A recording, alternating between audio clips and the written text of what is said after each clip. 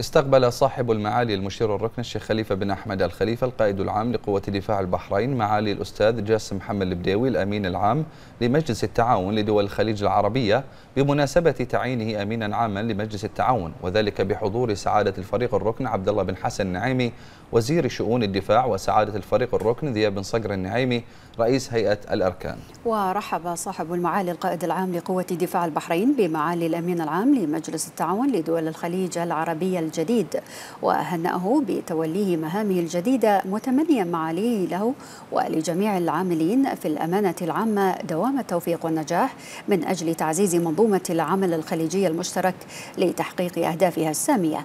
مؤكدا معاليه إن بحسب الرؤى النيرة والسديدة لحضرة صاحب الجلالة الملك حمد بن عيسى الخليفة ملك البلاد المعظم القائد الأعلى للقوات المسلحة. حفظه الله ورعاه.